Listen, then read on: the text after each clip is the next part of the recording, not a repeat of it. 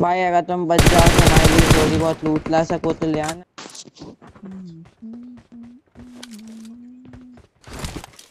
Mm-hmm.